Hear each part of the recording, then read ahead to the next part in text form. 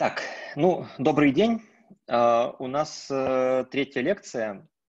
Кстати, сегодня у нас еще студенты из Перми, по идее, должны быть. Им привет, если они подключились к нам. Вот, наконец-то курс стал межкампусным. Ну ладно. Значит, да, вот говорят, что тут круто, круто. Приветствую.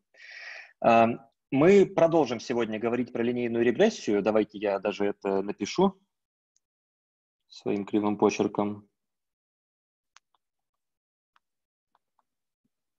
В прошлый раз мы с вами обсудили, как в линейной регрессии, ну, точнее даже не в линейной, а просто как в задаче регрессии измерять ошибку. Обсудили много разных метрик.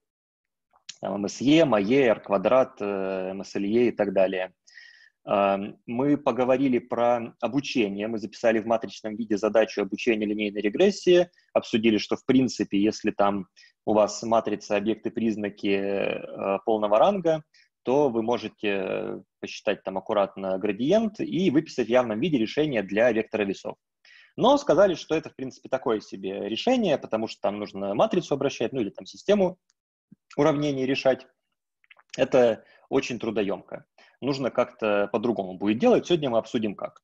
И, и еще в конце я вам рассказал про переобучение, собственно, ситуация, когда э, модель э, запоминает обучающую выборку и не умеет обобщать это на новые данные. Ну, а численно это означает, что ошибка на тестовой выборке какой-то э, хуже, больше, чем ошибка на обучающей выборке.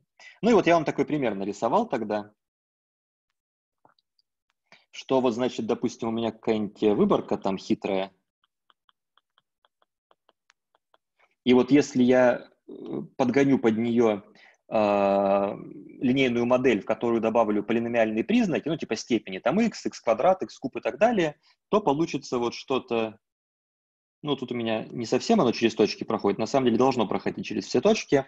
Вот что-то такое получится, и это будет, э, ну, не очень э, хорошо. Это, очевидно, не та модель, которую мы хотим.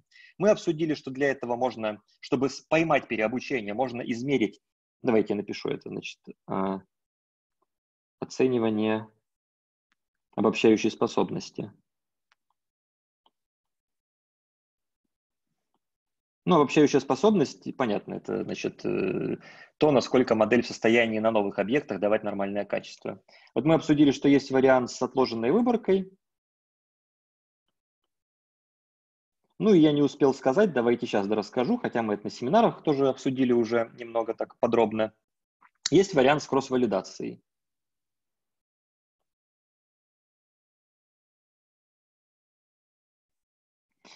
Идея в следующем. Вот у меня есть, значит, моя обучающая выборка. Ну, типа, полный набор объектов, для которых я знаю правильные ответы. Я эту выборку бью на некоторое количество блоков. Ну вот в моем случае на 4. А, обозначим через k число блоков. По-английски это называют fold. K-fold, cross-validation. А, дальше давайте я обозначу через, значит, x, давайте число блоков я буду обозначать k большим. Через x с индексом k маленьким я буду обозначать k блок. А через x, x большое с, ну вот таким давайте, типа не k, буду обозначать все блоки, кроме катова.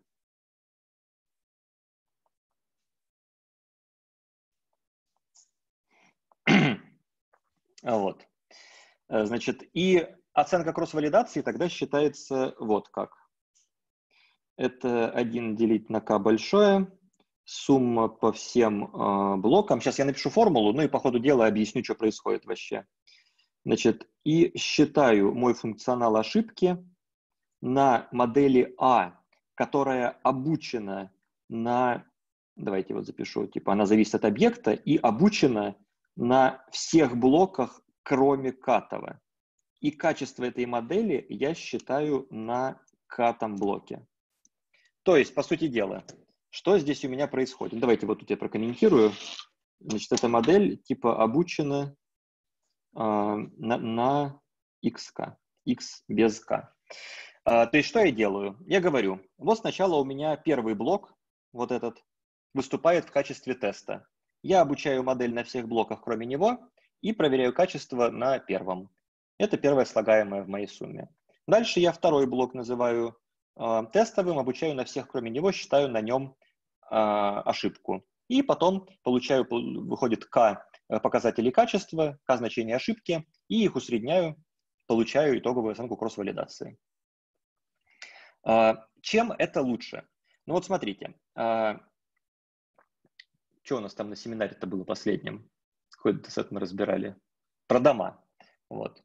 А, значит, вот э, разбирали пример про э, стоимость домов. Если помните, в этом датасете а, была такая проблема, там были выбросы. Дома с очень большим значением в сумме от 1 до да, все верно.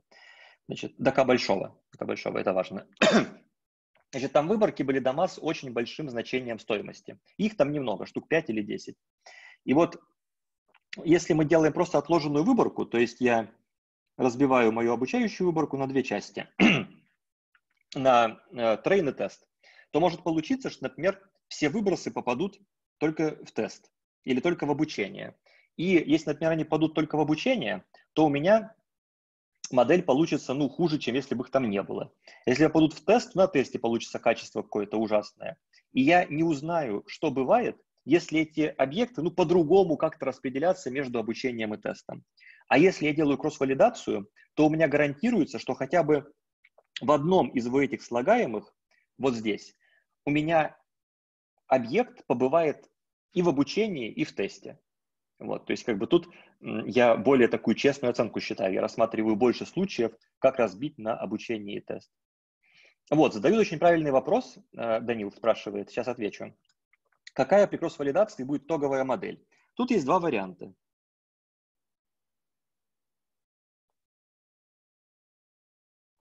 Первый вариант – итоговую модель обучить на всех данных.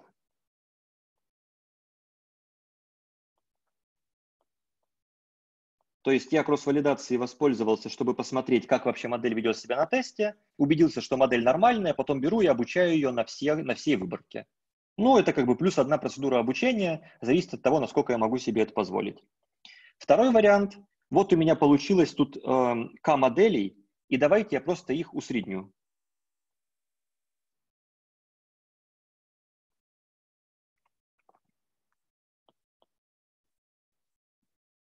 Ну, понятно, да, в процессе кросс-валидации я построил К большой моделей, каждая обучена без э, одного блока. И вот давайте я просто, э, если у меня задача регрессии, я буду строить прогноз всеми К-моделями и усреднять прогноз. Если у меня задача классификации, ну, там каждая модель какой-то класс выдает, я буду брать самый популярный класс. Нет, нет, Игорь, э, усреднять не веса, усреднять прогнозы. То есть вот итоговая модель, давайте ее обозначу, там, не знаю, C от X, это будет просто 1 делить на k, сумма по k маленькому от 1 до k большого, а от x, x без k. Вот. Мы, ну, как бы это может казаться сейчас странным, мы с вами дойдем в какой-то момент э, лекции так на э, восьмой, до композиции моделей, там мы подробно обсудим, что усреднять модели и там, устраивать голосование по большинству – это очень хорошая идея. Хуже от этого точно не станет. Так, тут вопросы еще под, подъехали. Значит, Михаил говорит, что можно обучить модель на предсказаниях К-модели. Это правда, но тогда вам эту модель нужно учить очень аккуратно, чтобы, грубо говоря, эта вот мета-модель не училась там же, где учились базовые модели. Это называется стекингом, мы тоже про это поговорим, но во втором модуле. А, можно ли вычислить модель, при которой кросс-валидация будет давать наименьшую ошибку? А в каком смысле вычислить? Типа, можно ли как-то аналитически продифференцировать оценку кросс-валидации, вы имеете в виду, да? А, ну, это что-то не очень понятно, как сделать. Ну, типа, я, конечно, могу записать для конкретного разбиения эту формулу. Не, это будет что-то очень сложное. Это какая-то дико сложная формула получится. Возможно, это получится проделать, но не очень понятно зачем. Проще перебрать. Но я еще подумаю про это. Хороший вопрос. Что если разброс оценок большой по фолдам? Ну, очень плохо. Это признак того, что модель крайне неустойчивая, что она очень чувствительна к э, выборке. Собственно, да, это тоже правильное замечание, давайте скажу. Вот еще кросс-валидация хороша тем, что у вас получается К оценок по разным фолдам. Вы можете их дисперсию посчитать. Если дисперсия очень большая, это значит, что ну, реально модель э, сильно шатает. Выборка чуть-чуть меняется, вы один блок заменяете в ней, модель радикально меняется по качеству. Это очень плохой знак. Значит, что-то что надо или модель поустойчивее выбрать, или что-нибудь такое. Вот. А, вот Георгий правильный вопрос задает, только лучше всем задавать его. А, что если а, у меня 100 объектов, и я делю на 10 блоков? Ну, как раз таки наоборот. Если у меня блоков много, то у меня обучающая выборка побольше, тестовая поменьше. Гораздо хуже, если, например, у меня, ну, скажем, 100 объектов, и я делаю кросс-валидацию по двум блокам. Тогда я, типа, говорю, что у меня было 100 объектов, но теперь у меня обучающая выборка 50 объектов, потому что ж пополам делят. И я, получается, обучение в два раза срезал, и есть шанс, что на 50 объектах модель не обучится. Поэтому тут вот правило для выбора k, числа блоков, такое, что, типа, чем меньше у вас данных, тем больше должно быть k. Есть вообще как бы такой вот предельный вариант, называется leave one out. Это когда я беру k, число блоков, равное числу объектов. Вот. Это считается там очень хорошая оценка, потому что в ней у меня обучающая выборка Ничего так. Да, в one out разброс будет большой, но как бы неважно. Разброс имеет смысл считать, если вы по каким-то нормального размера блокам делаете кросс-валидацию. В one out вы это оценить не сможете, но зато в нем у вас обучающая выборка на, при обучении каждой модели максимально близка по размеру к исходной. И поэтому получаете как бы оценку качества максимально приближенную к тому размеру выборки, с которым будете работать. Вот. Но one out это долго. Вам нужно обучить L раз модель если вы какую-нибудь там нейросеть обучаете, которая обучается сутки, ну, короче, тяжело будет. Ну вот, а, значит, это что касается оценки обобщающей способности. Теперь давайте обсудим, что делать, если у вас качество получилось плохое. Вот, например, вы провели кросс-валидацию и видите, что у вас модель на кросс-валидации показывает ужасное качество. Она работает плохо, она переобучается. Нужно что-то с ней делать. Ну, Давайте обсудим, что.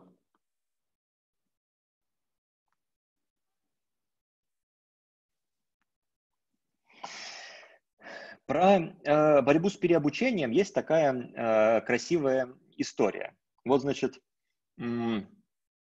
смотрите, когда мы обучаем модель, и получается что-нибудь вот такое, вот как на этой картинке нарисовано, можно посмотреть на веса этой модели.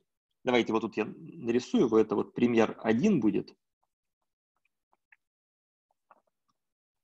Вот в примере один, если посмотреть на веса, которые получаются в этой модели, они огромные, очень большие. Ну, типа там, не знаю, там 10 в шестой, 10 в седьмой и так далее ну, а может, может быть, с минусом, э, но по модулю они гигантские.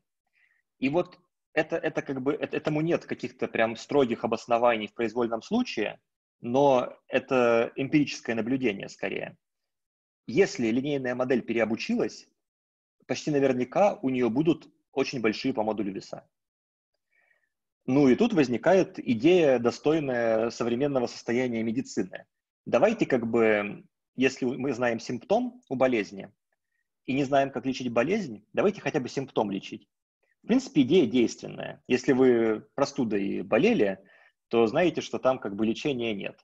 А, ну, то есть, вот, вот, вот э, реально, доказательная медицина сообщает нам, что э, неважно, вы там будете, не знаю, горло промывать или не будете, если болеете простудой, э, вы выздоровеете за время одно и то же.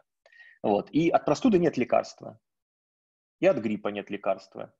Есть просто какие-то симптоматические лечения. Там таблетку выпить, температуру сбить, таблетку, чтобы голова не болела. И вот здесь мы будем делать ровно это же. Чтобы бороться с переобучением линейных моделей, мы им запретим иметь большие веса.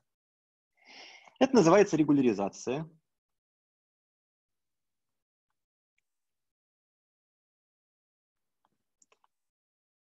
Запрет на большие веса.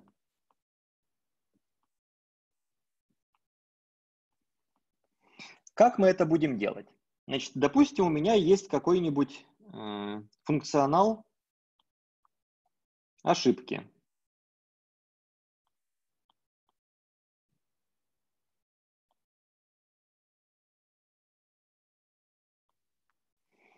Ну, например, MSE. Я просто возьму и добавлю к нему вот такое слагаемое. Лямбда умножить на L2 норму весов в квадрате.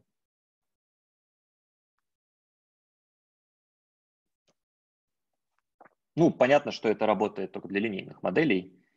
Давайте, чтобы тут не было путаницы, я вот прям вместо А буду писать здесь W. Типа я вот считаю качество для линейной модели с набором весов W. Эта штука называется, которая вот у меня в самом конце записана, регуляризованным функционалом. Соответственно, вот это, это регуляризатор, это L2 норма.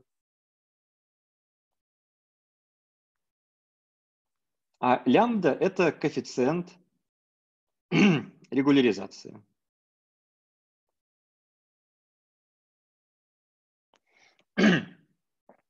Вот, такой вот нехитрый шаг. Я просто взял мой функционал и добавил в него еще одно требование. Требование, чтобы веса были не очень большие.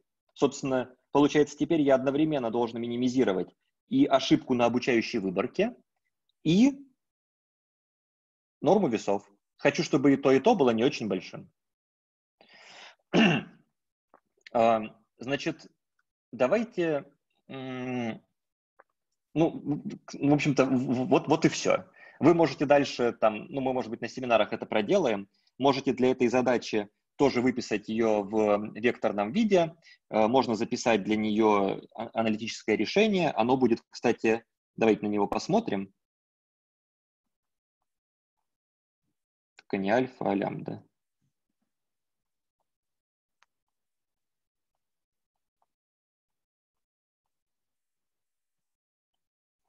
Оно выглядит точно так же, ну почти точно так же, как и аналитическое решение для обычной линейной регрессии. Ну, это в случае, если у меня МСЕ. Вот, но добавляется вот такая штука. Да, да, да, да, это если Q это МСЕ. Но добавляется вот такая штука к моей матрице x транспонированная x, просто единичная матрица с лямбдами на диагонали. Ну, значит, господа знатоки линейной алгебры, вам вопрос. А, что это означает для матрицы x транспонирован на x? Что в ней поменяется, если я добавлю такую диагональную матрицу? А с точки зрения ее вырожденности.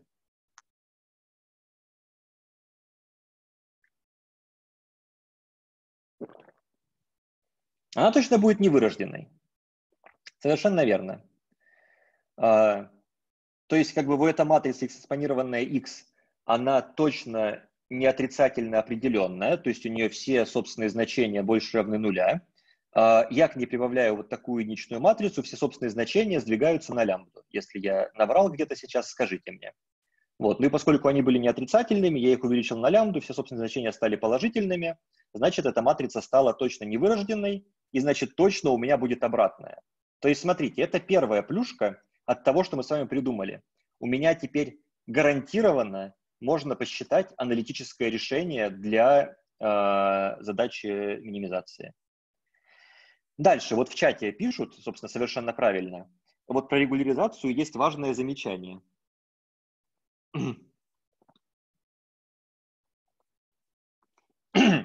В регуляризатор не должен входить свободный коэффициент.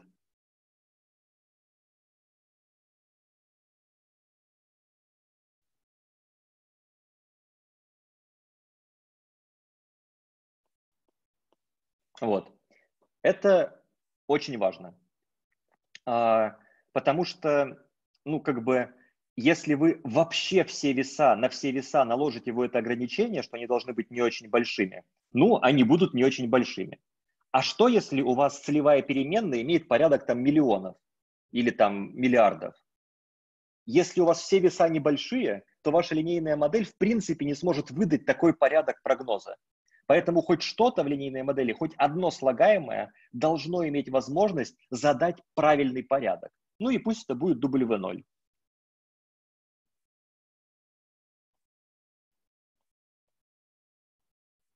Не сможет быть одного порядка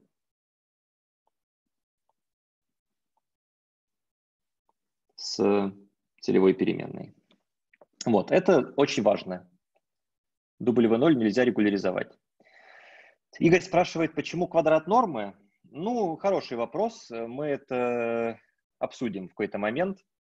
Ну, наверное, самый простой ответ. Ну, потому что, что, у нас тут МСЕ это квадрат отклонения, давайте регуляризатор будет квадратом нормы, как бы.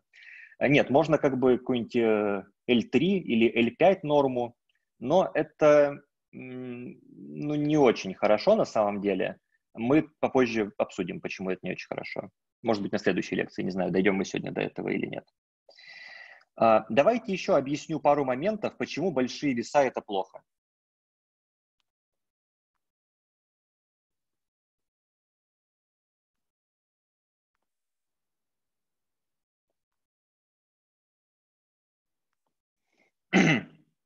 Вот представьте, что у меня есть э, какая-то модель, ну, скажем, для предсказания стоимости квартиры.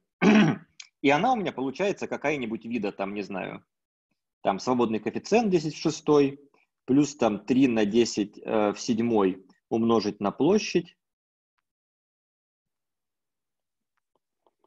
э, там, допустим, не знаю, э, минус там 5 на 10 в 6 умножить на расстояние до метро.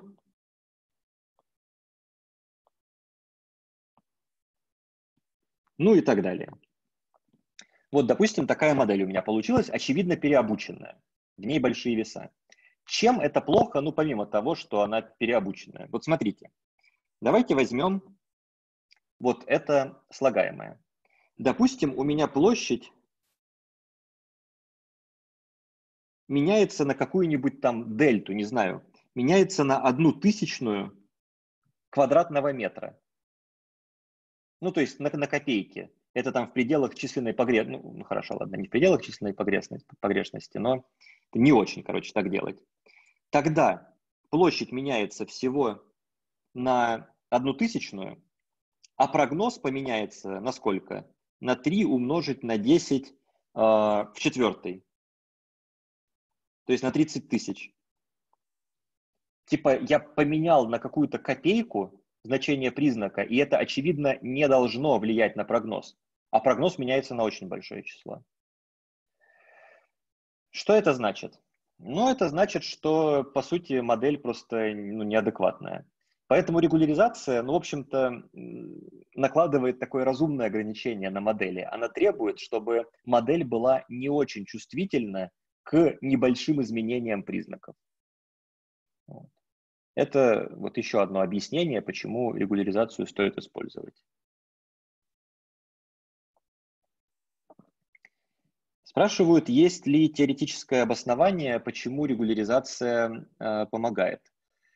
Э, они есть для очень частных случаев, то есть если вы ведете кучу ограничений на обучающую выборку, и на то, как у вас тестовая выборка генерируется, то вы можете показать, что добавление регуляризации дает вам более качественную оценку. В общем случае это никак не доказать. Поэтому считайте, что это просто костыль, который мы забиваем в нашу модель и который удивительно, но всегда работает хорошо. Что, опять же, мало отличается от современной медицины. Есть много лекарств, которые прекрасно работают, но э, фармацевты до сих пор не понимают, почему. Вот. Здесь какая-то похожая ситуация. А, спрашивают, почему регуляризация будет делать веса меньше. Ну, смотрите, вот у меня был функционал какой-то, МСЕ, например, вот такой. Я его минимизировал, у меня получались какие-то веса. Теперь я модифицирую функционал, и у него есть еще слагаемое, вот это вот лямбда на норму W, которая, это слагаемое тем больше, чем больше веса по норме. Соответственно, теперь мне будет выгодно, допустим, разменивать как-то э, качество на обучающей выборке, ошибку на обучающей выборке на норму весов. Когда я добавляю регуляризатор, веса станут меньше, качество похуже на обучении, но вот как бы такой размен. Э, не знаю, ответил на ваш вопрос? Дальше. Правильный вопрос. Как выбирать лямбду?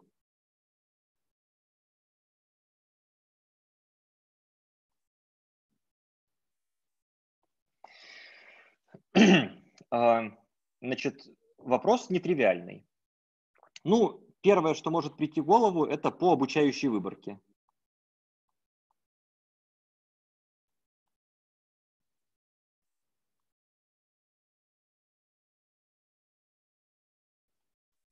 Выбираем лямбду, при которой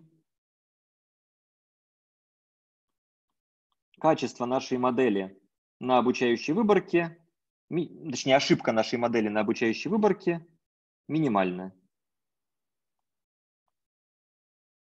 Почему это плохая идея? Как думаете?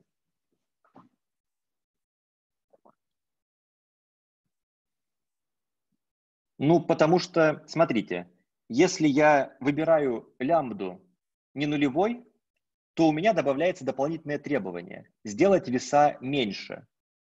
За счет чего я буду делать веса меньше? За счет того, что я буду увеличивать ошибку на обучающей выборке. То есть, типа, когда я решал вот эту задачу, задачу... Ладно, это я сейчас зря, конечно. Когда я решал задачу минимизации вот этой штуки, я уже получил модель, оптимальную на обучающей выборке. Очевидно, что когда я буду решать вот эту задачу, у меня получится веса, при которых ошибка на обучении больше. Потому что вот тут был минимум без регуляризатора. С регуляризатором решение будет другим, и там не может быть ошибка еще меньше на обучении, она будет больше.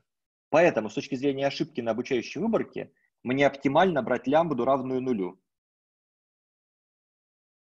Плохо мне оптимально брать лямбду равную нулю. Вот такие э, параметры, которые э, нельзя подбирать по обучающей выборке, потому что типа они вводятся в модель, чтобы оптимизировать качество на новых данных, называются гиперпараметрами.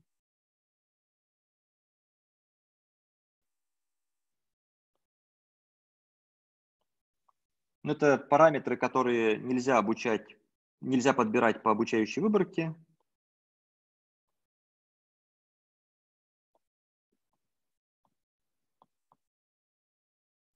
И которые вводятся для улучшения качества на новых данных.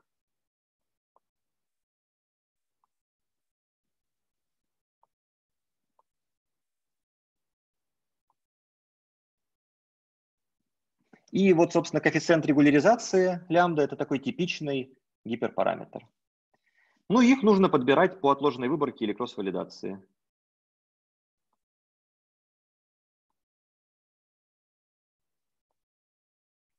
По кросс-валидации или по отложенной выборке.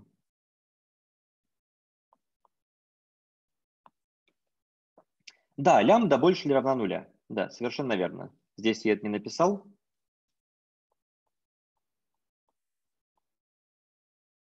Просто если вы сделаете лямбду меньше нуля, то получается вы наоборот будете хотеть, чтобы у вас э, веса были побольше. Это очень странное требование. Что такое отложенная выборка? Ну вот типа я беру все данные, которые у меня есть, и разбиваю на две части. На этой части я обучаюсь, а на этой тестируюсь. И вот типа вот эта вот часть называется отложенная выборка. Я как бы ее отложил. Вот, вот если кратко, то так. А, при этом регуляризаторы могут быть разные. Регуляризация не обязательно через L2 норму.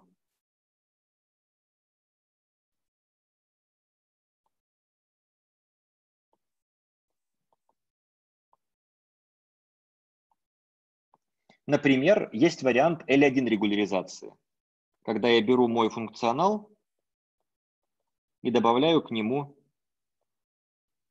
L1 норму весов. Если вдруг кто забыл, что это такое. Вот. А, казалось бы, ну какая разница, что там L2 норма требует, чтобы веса были поменьше, что L1 норма требует, чтобы веса были поменьше. Ну вот у L1 нормы, оказывается, есть такое интересное свойство. Если вы используете именно L1 регуляризатор, то у вас часть весов будет строго зануляться. С L2 нормой, с L2 регуляризатором этого не будет. У вас могут быть веса маленькие, но не нулевые. С L1 у вас будут прям нулевые. Причем чем больше лямбда, тем больше будет нулевых весов. Почему это так, мы обсудим или сегодня в конце лекции, или в следующий раз, и, собственно, там же мы поймем, там, чем плохи L3, L4, L5 регуляризаторы. Вот. А пока просто вот сообщаю такой забавный факт, что вот, казалось бы, там вместо квадрата сделали модуль, а вот свойства меняются. Вот тут сообщают, что у меня лямбда похожа на π. Ну, давайте я потренируюсь. Вот лямбда вот я вот так, а π все-таки я обычно вот так пишу.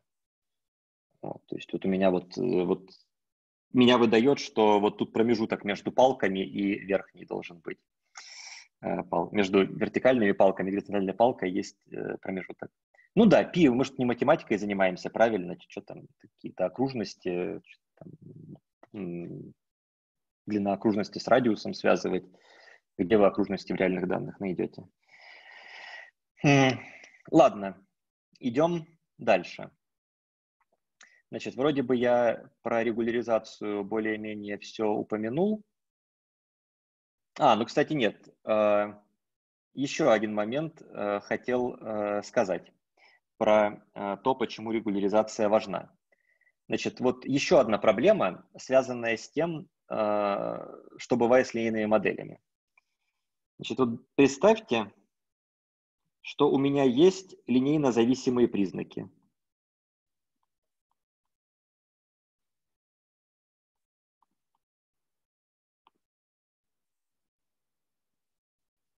Ну, вспомним немножко что? Что в формуле э, после лямбды? Ну да, да, две вертикальные черты. То есть вот, вот эта штука, как бы, у меня же как норма вектора обозначается, вот так вот. Вот, извините, я плохо рисую эти палки. Вот, но да, подразумевается вот такая штука. Норма W. L1 норма. Сумма модулей.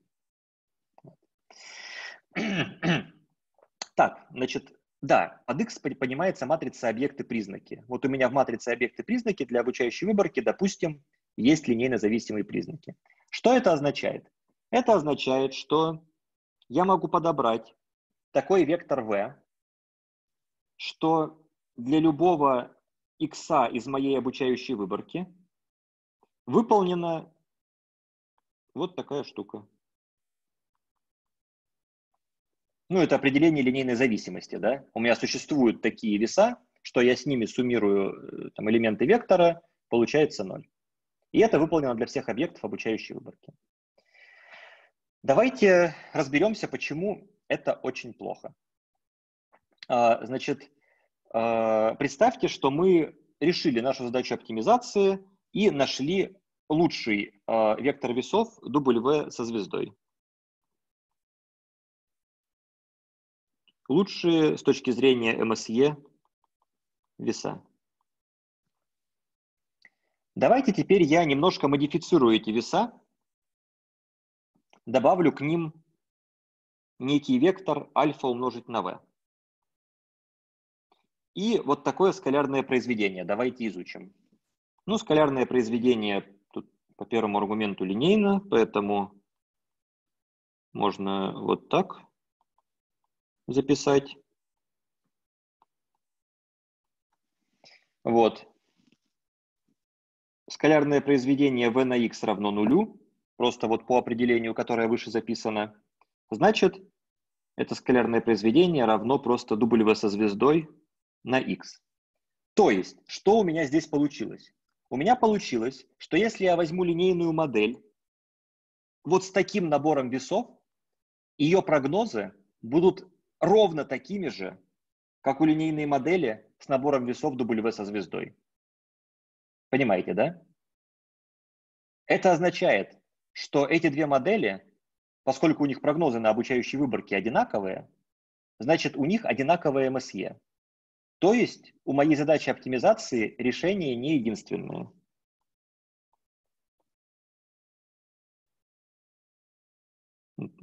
Решений много.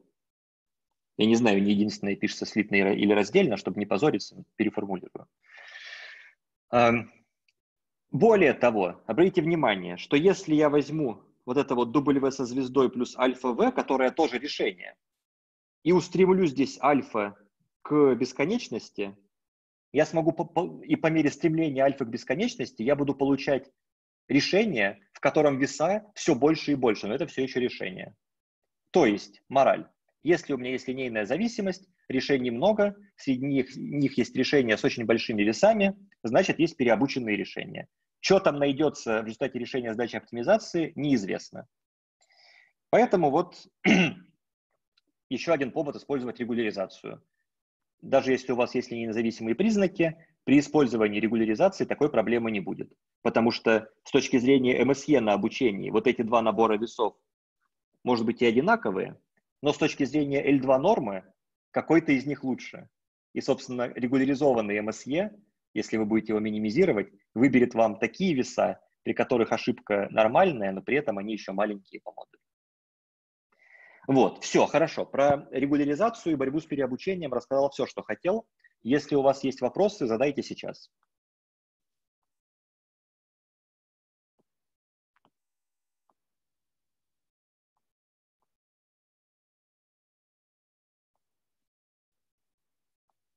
Нет вопросов. Тогда давайте дальше. Значит, давайте немножко вспомним тему обучения линейной регрессии.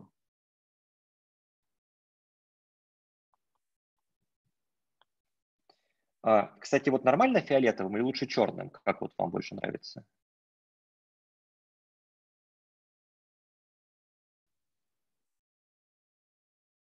Ну, хорошо. А, значит, Э, напомню, мы там с вами э, значит, выяснили, что для МСЕ мы можем записать аналитические решения. Оно вот так выглядит.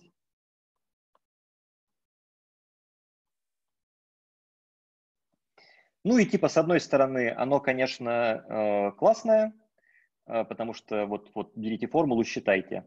С другой, по нему считать очень тяжело, потому что ну вот тут матрицу надо обращать. Это довольно трудоемкая операция. Мы обсуждали, что это типа куб от числа признаков. Ну, с константой какой-то. Вот. И э, это долго. Даже если у вас тысяча признаков, это будет очень долго. Более того, проделать вот эту операцию э, поиска аналитического решения можно только для МСЕ. Если у вас какой-то более сложный функционал, возможно, уже не получится найти аналитическое решение. Поэтому нам нужен какой-то общий фреймворк для обучения линейных моделей, да и, в принципе, любых дифференцируемых моделей. И вот сейчас мы его будем выводить. Вот, э, Фархад спрашивает, э, как эскалер считает. Слушайте, вот я Значит, в какой-то момент, по-моему, там было условие, типа, если признаков мало, то по этой формуле, если признаков много, то вот так, как мы сейчас будем разбираться. Что сейчас, я не знаю. Если признаков мало, это, конечно, лучше, я по формуле считал. Потому что это будет быстро и будет, ну, точное решение. Но, опять же, если признаков мало и матрица невырожденная. Эм, ну, ты плохо сказал, она же прямоугольная, она полного ранга.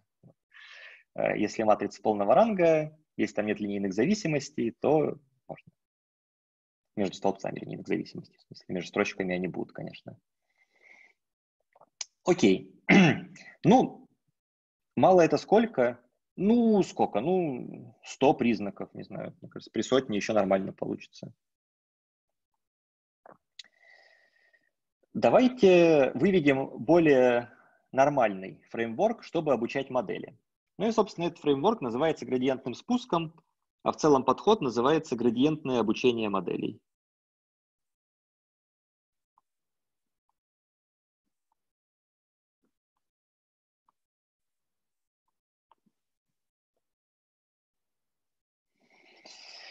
Ну, что это такое? Давайте сначала некоторую э, затравочку. Значит, вот у меня есть какая-то функция, которую я хочу минимизировать. Э, ну, например, какая-нибудь функция, вот, не знаю, допустим, она а, одномерная от одного параметра, повыше, повыше рисовать в смысле или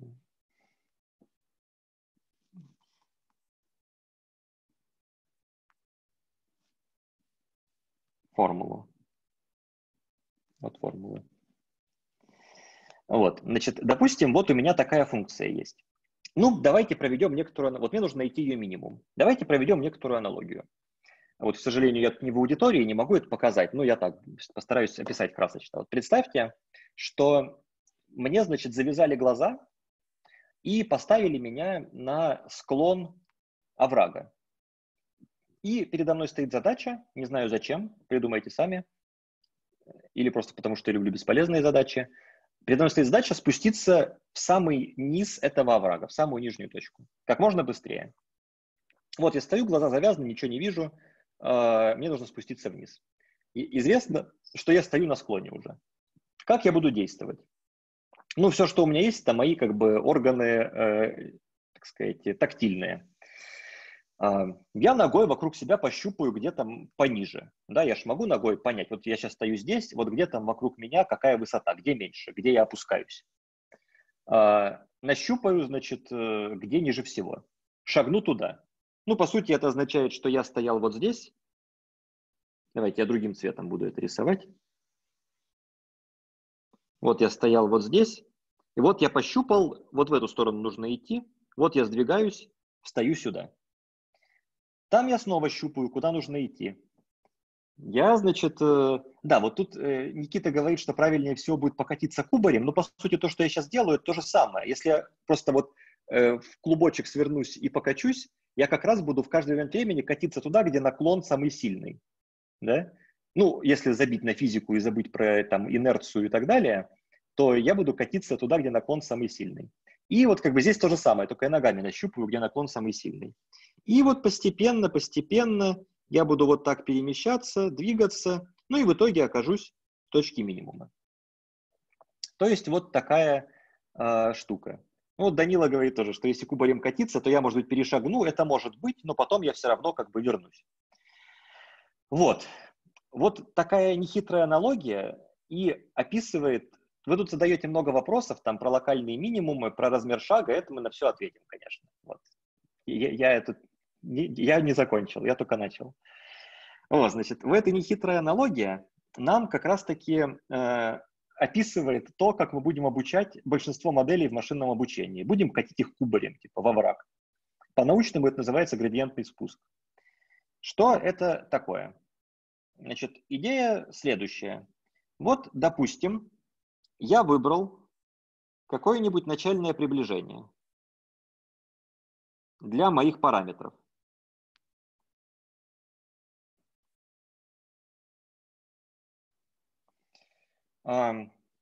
Как-то. Например, все нули. Но все нули может быть плохо, там, и просто из нормального распределения нагенерил независимо координаты этого вектора W0 или какую-нибудь эвристику придумал, неважно. Давайте считать, что случайно из какого-нибудь распределения сгенерировал этот вектор. Теперь я хочу, то есть это соответствует тому, что я вот встал на начальную позицию на овраге. Теперь мне нужно сместиться в ту сторону, куда функция убывает быстрее всего. Куда я покачусь кубарем, если вот дам себе волю на этом овраге. Как посчитать направление, куда функция убывает быстрее всего? Ну, это вы прекрасно знаете из математического анализа. У нас есть такое, такая штука, как градиент функции в точке. Градиент показывает сторону наискорейшего роста, а минус градиент, антиградиент, как его называют, сторону наискорейшего убывания. Давайте это. Я буду градиент обозначать его этой буквой. Ну, давайте я для приличия спрошу, как она называется. А вы напишите в чат. Ну, давайте больше одного человека напишут.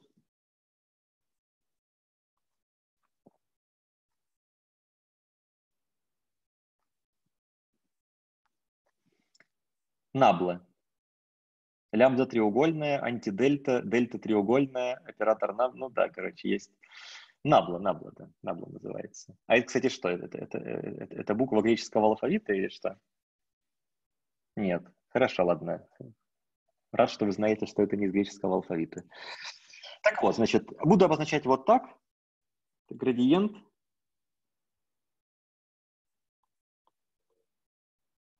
по W. Вот. И, значит, как раз-таки, если я возьму минус градиент, он будет показывать сторону наискорейшего убывания.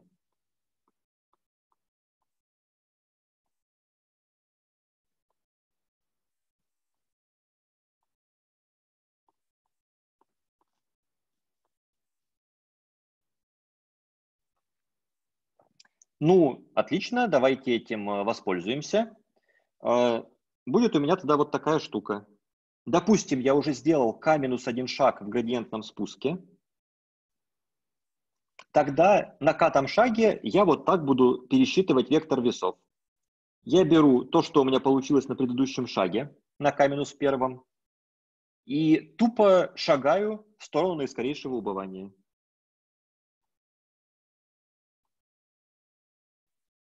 Ну, причем это направление наискорейшего убывания считаю в точке WK-1. Причем мне, наверное, захочется регулировать э, скорость, с которой я шагаю, поэтому я введу эту. Это, это длина шага. Ну, еще по-английски называют скорость обучения, learning rate.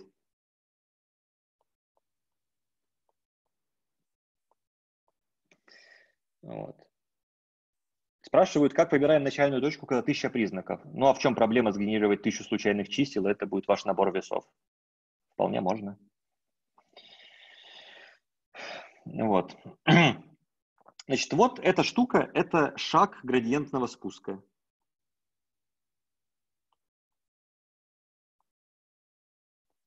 Ну и еще нужно понять, да, да, мы стартуем из любой точки, из абсолютно любой. Ну, опять же, повторюсь, что нет, я не повторюсь, это сейчас новая информация будет. Хотя ладно, ее рано еще говорить, потом скажу. Извините. А, это, это гиперпараметр. Да. Это, гипер... Ну, кстати, в принципе, не совсем. Это в некотором смысле это обычный параметр, его можно подбирать так, чтобы у вас итоговая ошибка на обучающей выборке была поменьше.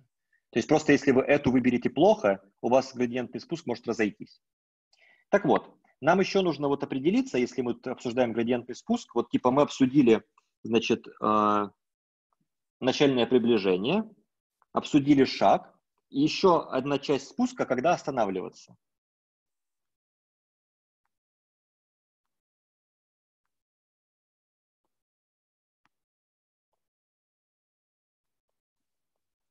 Есть разные варианты. Есть вариант чисто инженерный. Останавливаемся, когда ошибка на тестовой выборке перестает расти.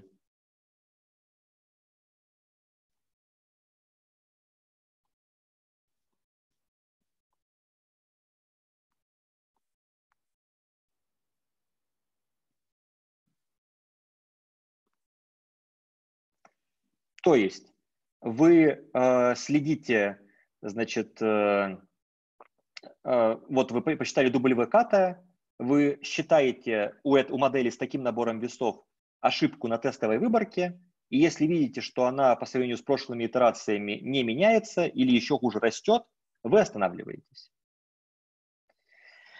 Эм, но как бы есть и другие варианты, которые в случае с линейными моделями работают неплохо. Например, вы можете сказать, что если у вас на катом шаге вектор весов мало отличается от вектора весов на k первом шаге, то есть он меньше эпсилона какого-то, то вот тоже можно останавливаться. Можно останавливаться, если у вас ошибка на обучении особо не выросла, ну, особо не поменялась по сравнению с предыдущим шагом.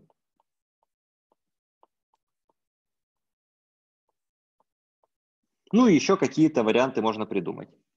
То есть, по сути дела, вы должны просто вот эту вот, э, вот этот второй шаг, шаг градиентного спуска, повторять до сходимости. Вот тут э, я на майнере нашем э, недавно рассказывал тоже про градиентный спуск, напоминал точнее про него.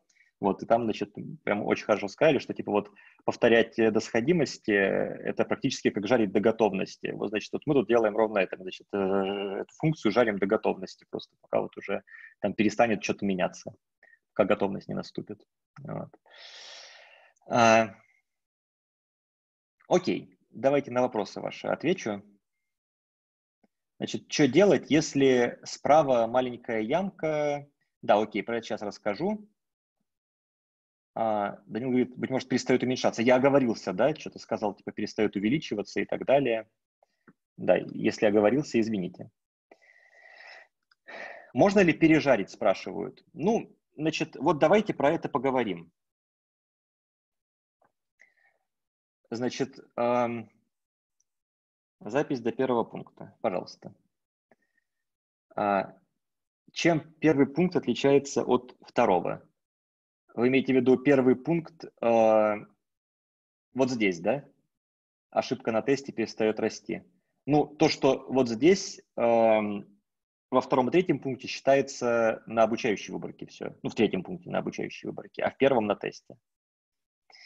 Значит, за сколько шагов обычно сходится, но это очень сильно зависит. Может и за 10, может и за 1000. Зависит от длины шага. Значит, давайте обсудим, собственно, вот вы много вопросов про это задаете.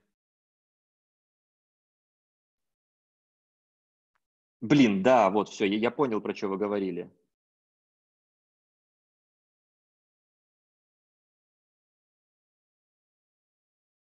Простите, перестает уменьшаться. Да. Так вот, давайте обсудим сходимость.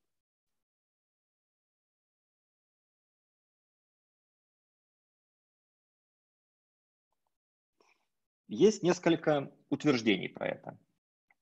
Значит, во-первых, а, гарантируется, что ну, там, при выполнении определенных ненапряжных условий, которые нам не особо интересны, что градиентный спуск а, сойдется к точке, где градиент равен нулю. Это может быть э, минимум, может быть максимум, может быть седловая точка. При этом, ну, значит, в точке, где градиент равен нулю. Ну, там примерно равен нулю. Понятно, что тут у нас все численное. Мы сойдемся к точке, где градиент примерно ноль. При этом вот все функционалы, которые мы будем изучать для линейной регрессии, линейной классификации, они выпуклые. И даже строго выпуклые, в принципе. И у них всего одна такая точка особая. Это глобальный минимум.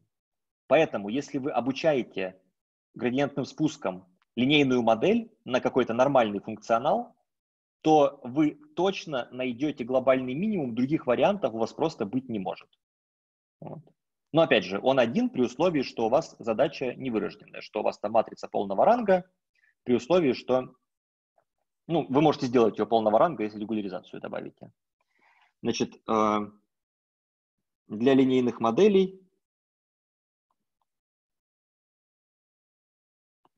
с матрицей полного ранга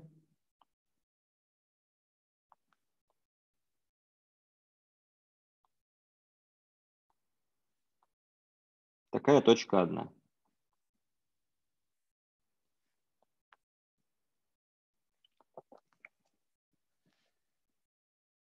Ну, в смысле, все линейные модели.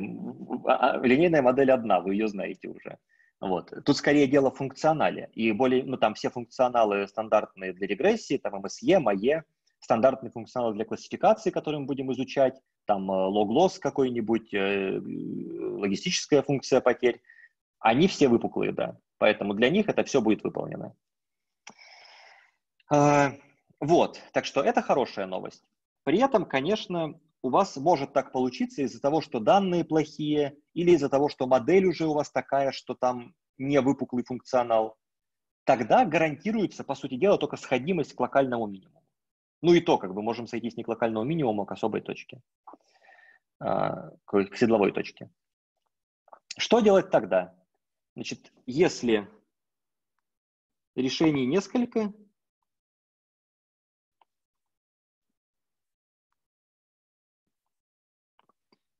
То можно делать мультистарт.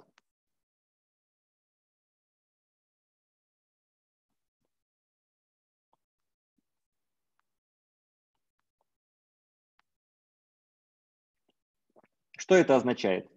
Вот у вас есть какая-нибудь, допустим, функция вот такая. Вы генерируете какое-нибудь начальное приближение, допустим, вот это. Из него запускаете градиентный спуск, он сходится вам в минимум. Генерируете еще одно начальное приближение, допустим, вот такое получается.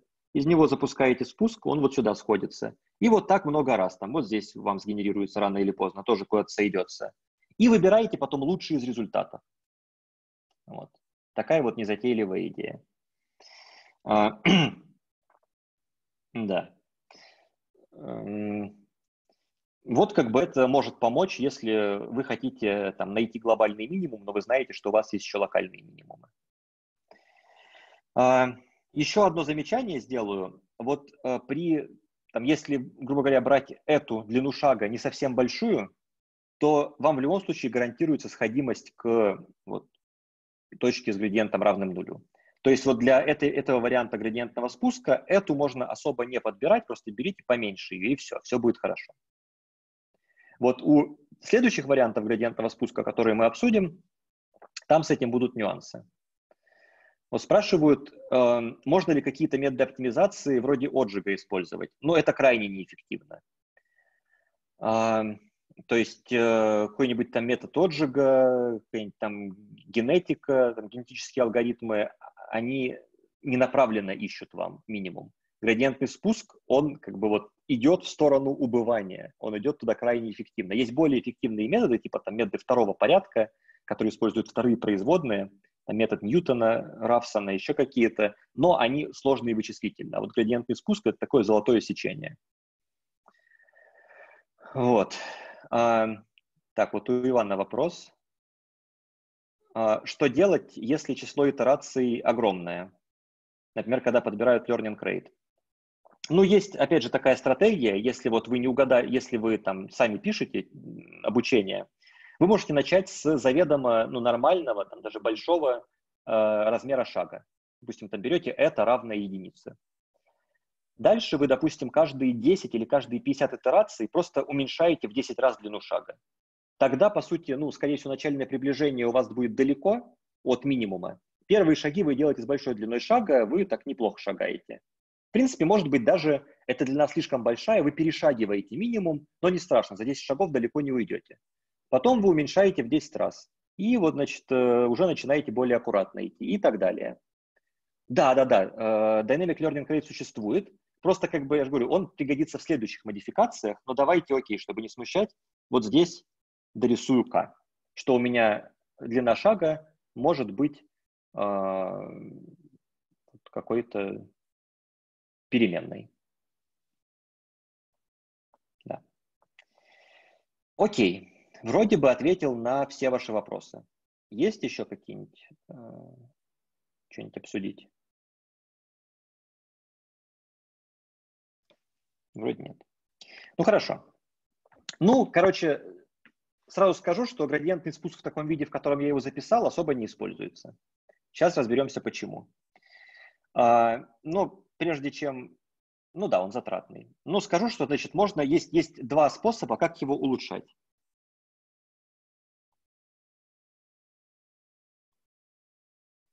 Ну, это называется gradient descent. GD буду писать. Вот, значит, есть два направления, как его улучшать. Первое, заменять градиент на его оценки. Мы сейчас разберемся, что это. Оценки градиента. Второй путь, как улучшать, это менять вид самого градиентного шага.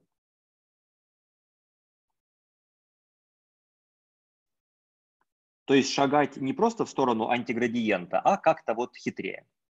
Ну, давайте с этим разбираться.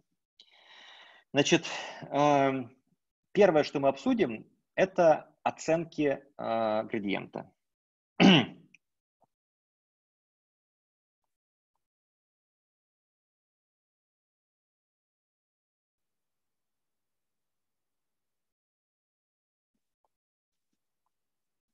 Напомню, что функционалы, которые мы оптимизируем, имеют вот такой вид. Ну, например, да, если это MSE, то это будет что-то типа 1 делить на L, сумма по i от 1 до L, э, скалярное произведение W на x it минус y it в квадрате. Вот что-то такое я решаю. И, в принципе, почти всегда в машинном обучении функционалы — это сумма каких-то других функций. То есть это вот, давайте в более общем виде запишу. Это что-то такое. Значит, если я считаю градиент этой штуки по W, то мне для этого нужно посчитать, градиент же линейен, да, я могу его внутрь суммы внести. Значит, я могу посчитать, мне нужно посчитать сумму L градиентов, чтобы посчитать градиент самого функционала ошибки. Это может быть очень много. Если у меня обучающая выборка там, состоит из миллиона объектов, то получается, чтобы посчитать один жалкий градиент, мне нужно просуммировать миллион векторов. А если у меня еще больше выборка, есть там 10 миллионов, 100 миллионов объектов, то очень долго. Причем, как бы смотрите, вот э, давайте я тут некоторую визуализацию наведу.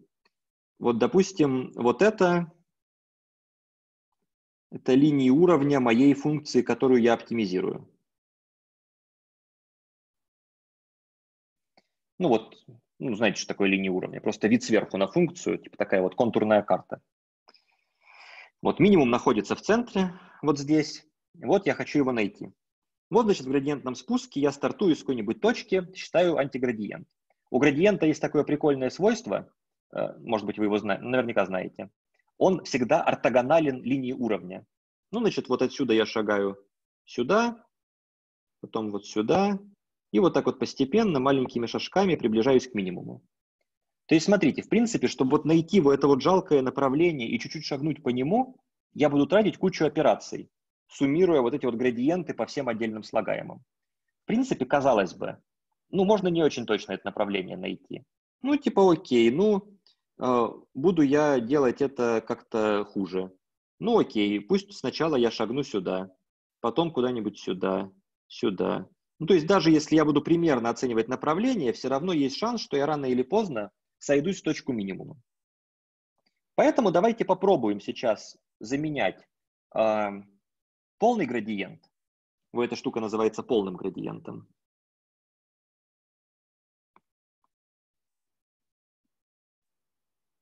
Давайте я буду его заменять на что-нибудь попроще. Ну, смотрите, у меня тут, значит, среднее каких-то величин. Э, как вы знаете из Матстата, мы вполне умеем оценивать среднее большого количества величин как-то вот э, меньшим количеством величин. Как? Предложите какой-нибудь вариант.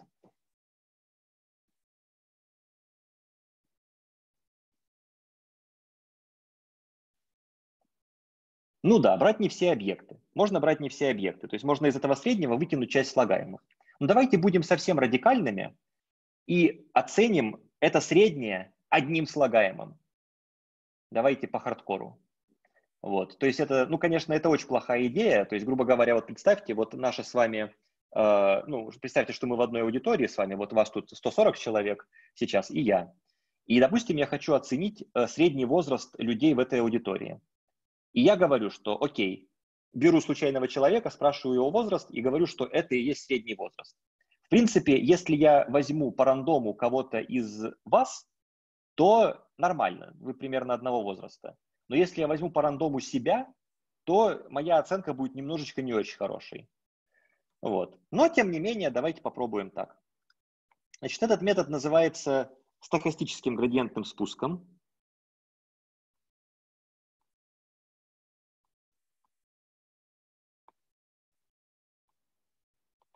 ну, сокращенно SGD, Stochastic Gradient Descent, и в нем я просто оцениваю градиент моего функционала градиентом случайной функции из этого среднего. Ну, соответственно, у меня э, шаг будет выглядеть вот как.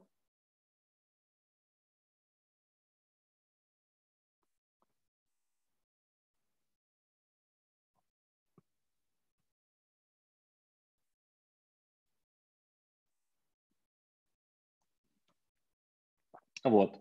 Ну, где и это случайный номер объекта.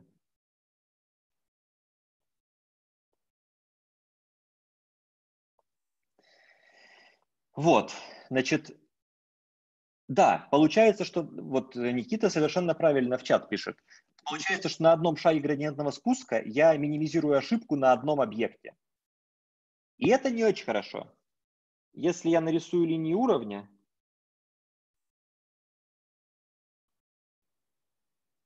то на них траектория моего стохастического градиентного спуска будет вот, вот какой-то такой.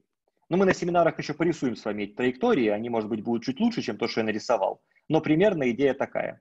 Но есть теорема, я, к сожалению, ну, вы знаете, я теоремы не люблю, вот, я э, забыл, чего она имени.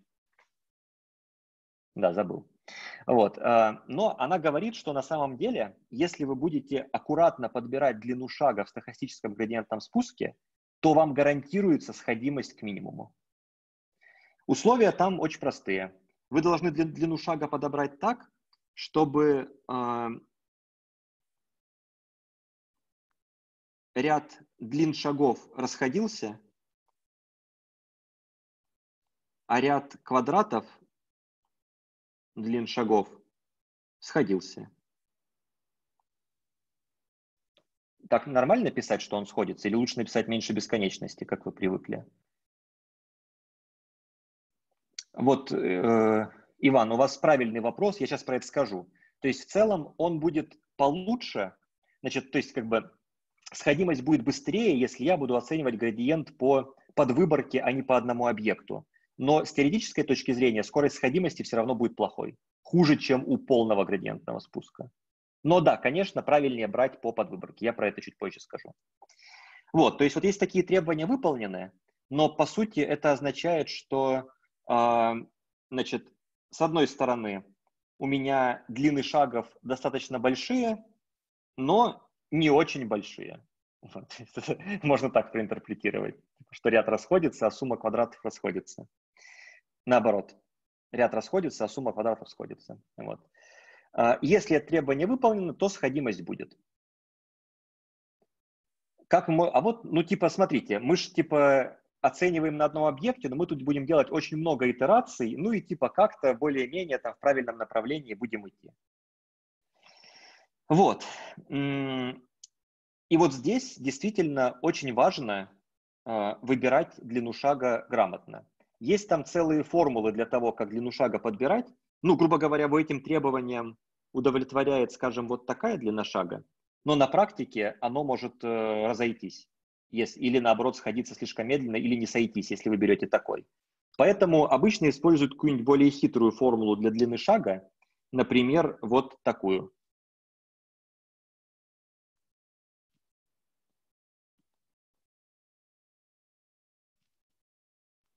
Где лямбда, S0 и P – это параметры.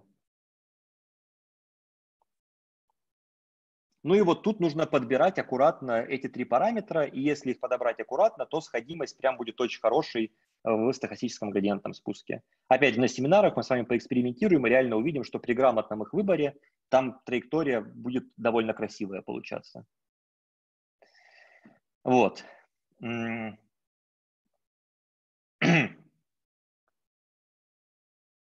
Ну вот говорят, что рано или поздно мы численно не сможем хранить это. Нет, ну как бы если вам нужно настолько много итераций, что это становится уже там численно равной нулю, вы что-то очень плохо выбрали стратегию э, для длин шагов. Нужно что-нибудь покрутить вот в этой второй формуле. Да, да, лямбда, которая здесь, и лямбда в регуляризации, это абсолютно разные лямбды. Извините, что тут пересечение в обозначениях. Так вот, значит, можно показать, что если у вас выполнены определенные, а, давайте, это такая заметка на полях, Если у вас выполнены определенные там условия, то есть там функционал выпуклый, гладкий, имеет минимум, то в обычном градиентном спуске, в полном, извините,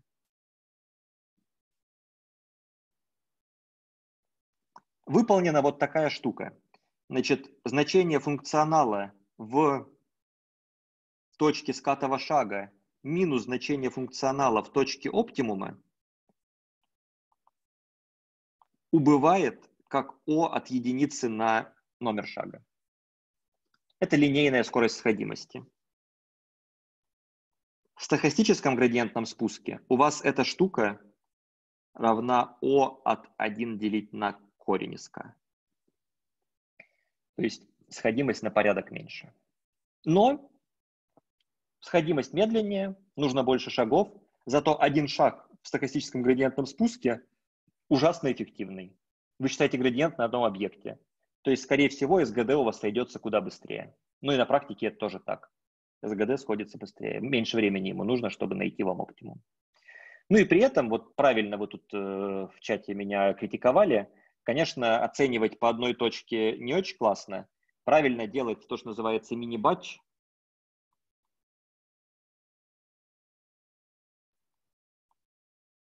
Это когда вы оцениваете градиент вашего полного функционала а, средним градиентом по каким-то n объектам.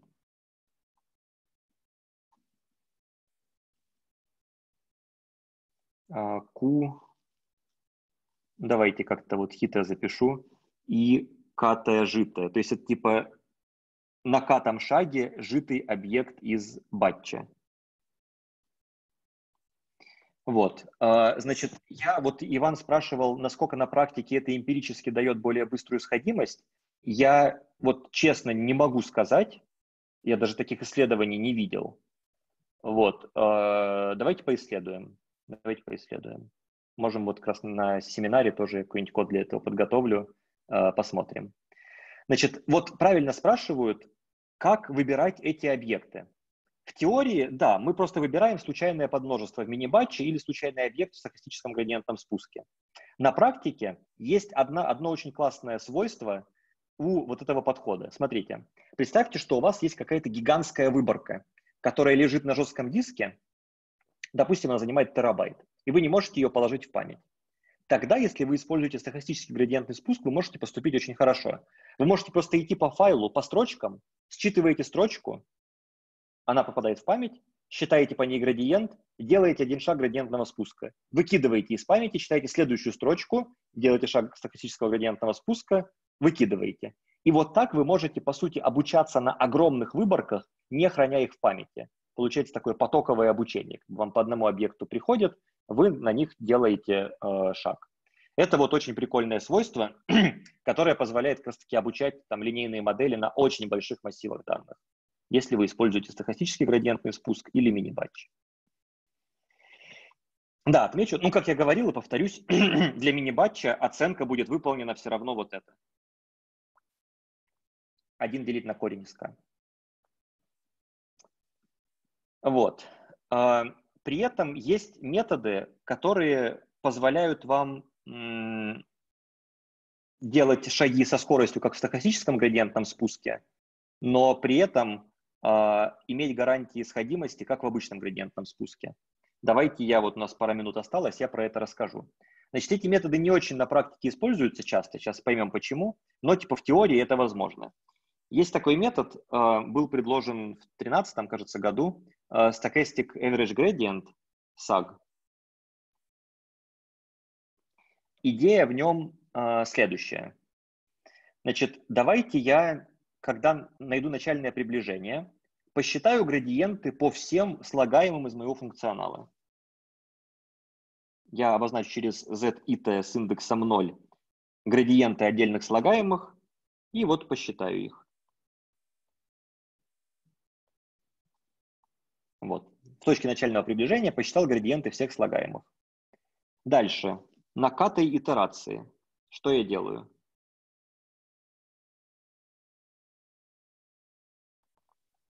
На катой итерации я некоторым хитрым образом обновляю эти z и t катые. А именно, я обновляю z и катая только для одного объекта.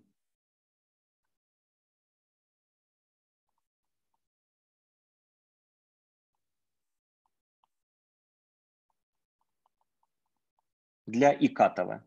А для всех остальных объектов я просто переношу z и, и, и катая с предыдущего шага. То есть понимаете, да? Я градиенты храню все, но обновляю их очень редко. Я на каждом шаге обновляю градиент только по одному объекту.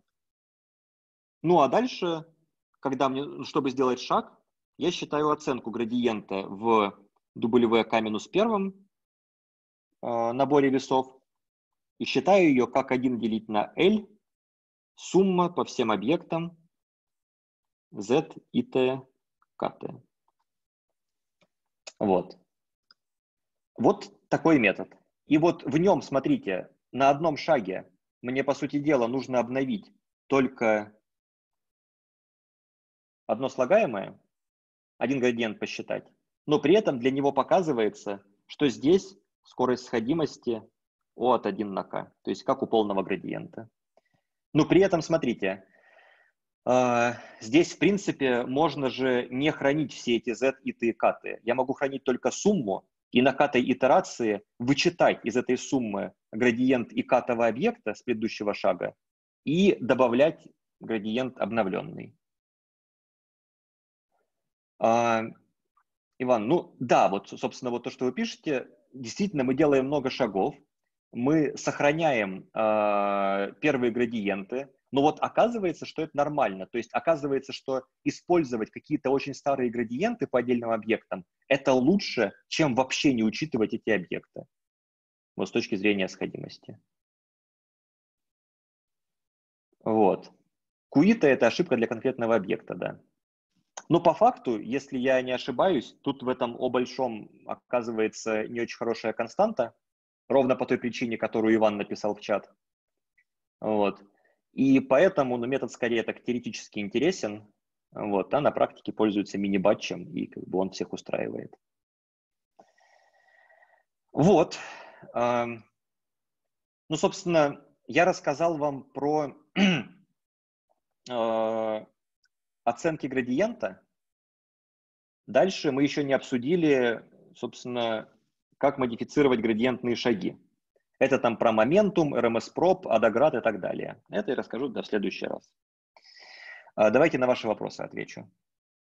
Значит, ну, про momentum мы подробно будем говорить, да. Какой метод используют крутые бустинги? Ну, бустинги не используют градиентный спуск, они обучают деревья, а деревья учатся без э, градиентов, они дифференцируемы, поэтому вопрос невалиден. А, Значит, верно ли, что О большое от 1 на корень из К для СГД верно только если я эту взял правильно? Вот тут я боюсь наврать. По-моему, там вообще утверждение типа при оптимальном выборе шага скорость сходимости такая. Вот. А, то есть вам даже, возможно, лучше, чем 1 на К нужно взять. Что на практике используют? Ну, для линейных моделей стохастический градиентный спуск – Собственно, вот э, мы вам в одной из практик дадим попользоваться в Opal Web. Там Opal Web это такой очень классный, быстрый инструмент, написанный там на плюсах или даже на, си, на, на плюсах, на плюсах для обучения линейных моделей. Там он реально супер быстрый, его в продакшене используют часто. В нем тупо стохастический градиентный спуск для обучения линейных моделей. Вот. Эм, если речь про нейросети, где все-таки градиент лучше поточнее оценивать, там мини-батч используют с размером батча каким-нибудь типа 100. Вот. Так что вот все, что, ну, точнее, используют мини-батч, плюс для нейросетей еще там используют одну из модификаций шага, которую расскажу в следующий раз, ну, моментум обычно, вот, и как бы нормально. Смысл шага СГД. Ну, смотрите, вот у меня шаг стохастического градиентного спуска, тут написан, вот он, в нем я сделал некоторые упрощения. Вместо того, чтобы считать градиент всего функционала, то есть ошибки на всей обучающей выборке, я посчитал градиент ошибки на одном слагаемом. То есть в моем случае QI катая, ну, для MSE, например, это будет просто ошибка на итем объекте. Вот, и типа я посчитал градиент ошибки только на одном объекте и сдвигаю веса так, чтобы ошибка стала меньше только на этом объекте. То есть вот такое очень приблизительное сделал. Э, что понимаем под линейной моделью?